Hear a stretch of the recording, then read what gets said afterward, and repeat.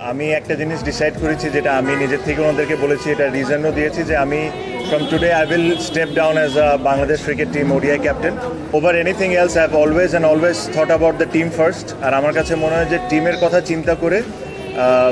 আমার step down করে যাওয়াটা will be the best possible thing